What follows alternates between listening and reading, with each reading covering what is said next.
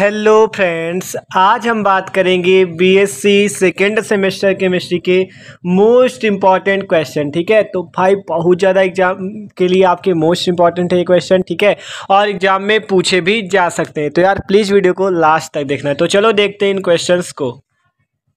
ठीक है, ये क्वेश्चन आपके एग्ज़ाम के लिए बहुत ज़्यादा ही इंपॉर्टेंट है। देख सकते हो, ये सारे क्वेश्चन ऐसे हैं जो कि हर साल एग्ज़ाम में आपके पूछे जाते हैं। तो चलो देखते हैं BSc second semester chemistry most important questions ठीक है? तो देखो, पहला क्वेश्चन आपका, सिलिकॉनों का वर्गीकरण कैसे किया जाता है? इसके गुण एवं उपयोगों को लिखिए, ठीक है? सिलिकॉन्स क्या होते हैं?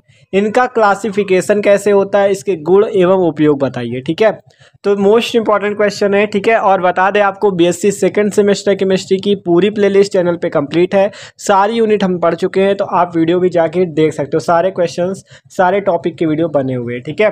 अगला क्वेश्चन है, पॉलीथीन पर संक्षिप्त टिप्पणी लिखिए।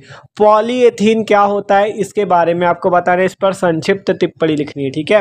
अगला क्वेश्चन जिगलर नाटा पॉलीमेराइजेशन अभिक्रिया का वर्णन कीजिए। जिगलर नाटा बहुलीकरण अभिक्रिया का वर्णन कीजिए। मोस्ट इंपॉर्टेंट है, ये वाला क्वेश्चन भी। अगला, आपका ब्रैग समीकरण की व्युत्पत्ति कीजिए। जो आपका सूत्र होता है N lambda equal to two D sine theta इसका पूरा डेरिवेशन आपको करना है, ठीक है? तो ये डेरिवेशन भी पूछा जाता है आपका एग्ज़ाम में ज़्यादातर, हर साल। तो इसे ज़रूर तैयार कर लेना, ठीक है? अगला ट्राईफास्फाजीन की संरचना।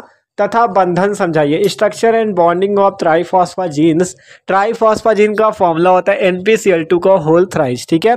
तो ये सारे क्वेश्चन बता रहे हैं आपको, पूरी प्लेलिस्ट बनी हुई है, सारे आपके कंप्लीट है, ठीक है? अगला क्वेश्चन कार्बोहाइड्रेट क्या है? इनका वर्गीकरण कैसे किया जाता है? डी प्लस ग्लूकोज के रिंग स्ट्रक्चर सूत्र की व्याख्या कीजिए। मतलब कि कार्बोहाइड्रेट क्या होते हैं? इनका क्लासिफिकेशन कैसे होता है? डी प्लस ग्लूकोज के संरचना सूत्र की व्याख्या भी कीजिए। अगला क्वेश्चन परिवर्तित ध्रुवण गुणन अर्थात म्यूटा रोटेशन की क्रिया क्या होती है? इस पर संक्षिप्त टिप्पणी लिखिए, ठीक है?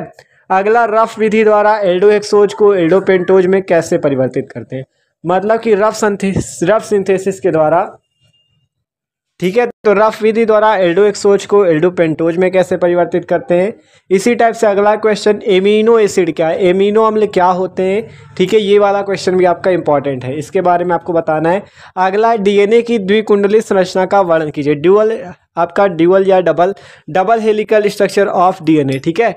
Double helical structure of DNA DNA की द्विकुंडली संरचना, ठीक है? तो देख सकते हो, ये सारे क्वेश्चन आपके मोस्ट इंपॉर्टेंट हैं, जो कि ज़्यादातर हर साल एग्ज़ाम में पूछे जाते हैं, ठीक है? और आप पूरी प्लेलिस्ट भी जाके चैनल पे चेक कर सकते हो, सारे क्वेश्चंस आपको मिल जाएँगे, ठीक है? तो यार वीडियो अच्छा लगा हो तो लाइक कर देना और चैनल पे नए हो तो सब्सक्राइब कर देना okay thanks for watching this video